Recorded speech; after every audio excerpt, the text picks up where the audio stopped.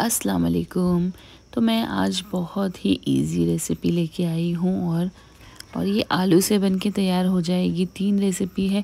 एक फीलिंग से आप तीन अलग अलग तरीके के, किस तरीके से आप इसे शेप दे सकते हो, बना सकते हो। तो चलिए स्टार्ट करते हैं। सबसे पहले आलू का एक बहुत ही मज़ेदार सा मिक्सचर बनाएँगे। फीलिंग बना के रख लेंगे और उसे हम इस्तेमाल करेंगे। तो सबसे पहले मैंने एक पैन को गरम कर ली थी उसमें मैंने ऑयल डाली हूँ और ऑयल डालने के बाद में उसे स्लो ही करना है फास्ट नहीं करना है, नहीं तो मसाले जल जाएँगे। इसमें मैंने राई, ज़ीरा, अजवाइन, अक्के लाल मिर्च और कड़ी पत्ता है। इसे डाल के हल्का सा इसे भून लेंगे इसका खुशबू आने तक का। तो अब ये हो गया है। इसके बाद में कुछ मसाले हैं, नमक, चाट मसाला, हल्दी, ज़ीरा पाउडर, चिल्ली फ्लेक्स और कूटा हुआ अक्खा धनिया है। और इसे डाल देंगे और इसे हल्का सा भून लेंगे। गैस का फ्लेम हमें लो ही रखना है, फास्ट नहीं करना है। देखिए ये हो चुका है। इसके बाद में ये मैं इसमें मटर डाल दूँगी। और अब ये मैंने पाँच आलू को बॉईल करके छील के उसे मैंने मैश करके रख ली थी।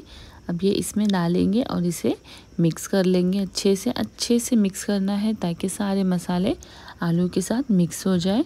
अब इसके बाद में इसे मिक्स कर लेना है, फिर इसमें ऊपर से हरा धनिया डाल देना है और इसे मिक्स करके रख लेना है ठंडे हुए तक और फिर आगे का प्रोसेस स्टार्ट करते हैं। तो जिसके लिए मैंने ये समोसा पट्टी ली हूँ, अब ये समोसा पट्टी को ना मैं तीन हिस्सों में डिवाइड करूँगी। आप चाहे तो ऐसे भी काट सकते हैं या तो आप इसको इस तरीके से तीन फोल्ड कर लीजिए।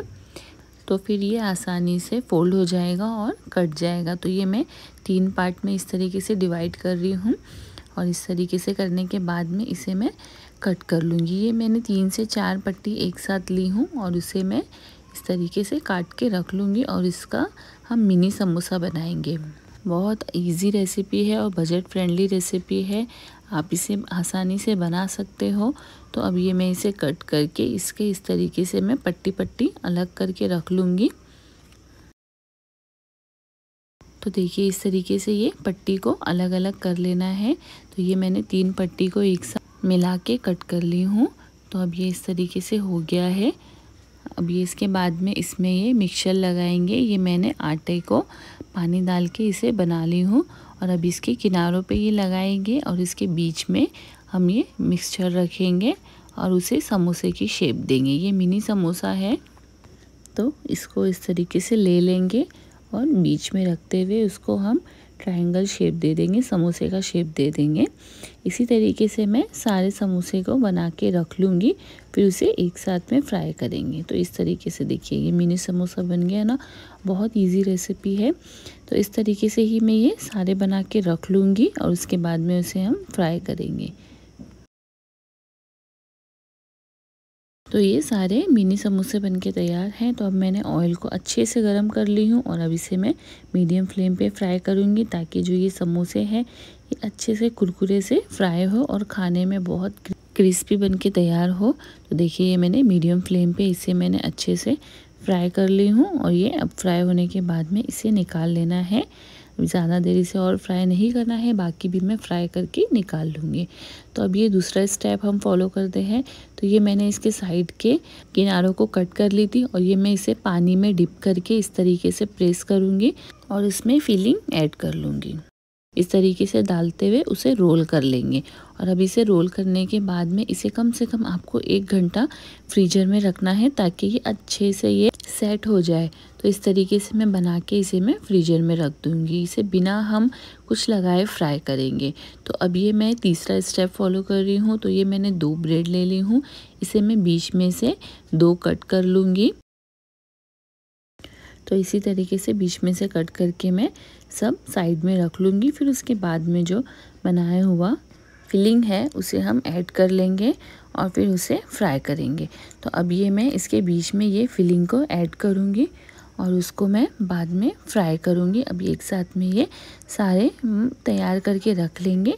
फिर बाद में एक साथ में सब फ्राई करेंगे।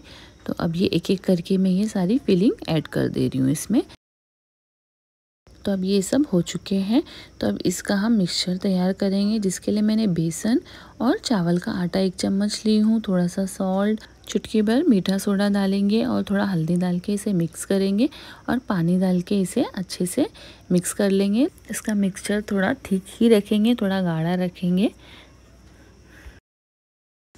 अब ये रेडी हो चुका है। तो अब इसके बाद में ये एक एक करके मैं इसे फ्राई करूँगी तो ये पहले मैं तेल को चेक कर ली हूँ। तेल अच्छे से गर्म हो चुका है। तो अब इसके बाद में ये इस तरीके से इसके मिक्सचर में इसे ऐड करेंगे।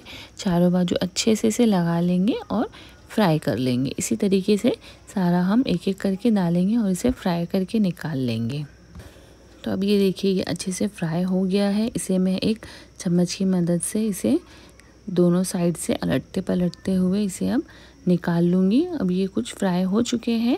और जो बाकी के हैं, उसे भी फ्राई करके निकाल लेंगे। और ये जो रोल तैयार करके रखे थे, इसे मैंने एक घंटा फ्रीजर में रख दी थी ताकि ये अच्छे से सेट हो जाए। तो अब इसे मैं डाल दूँगी तेल में। तेल को अच्छे से गर्म करने के बाद उसे मीडियम कर लेना है और तब इसे फ्राई करना है। इसके ऊपर हम कुछ भी नहीं लगाएँगे। इसे बिल्कुल प्लेन ही फ्राई करेंगे। इसके लिए आपको उसे एक घंटा सेट होने के लिए फ्रीजर में रखना पड़ेगा। वो बहुत ज़रूरी प्रोसेस है। तो अब ये मैं फ्राई करके इसे भी निकाल लूँगी। तो आप लोगों को मेरी ये रेसिपी कैसी लगी, पसंद आए तो प्लीज़ लाइक करिए कमेंट करिए। मेरे चैनल पे न्यू हो तो उसे सब्सक्राइब ज़रूर करिएगा। तो मैंने आप लोगों के लिए बिल्कुल लो बजट रेसिपी लेके आई थी। फ्रेंडली बजट रेसिपी है ये।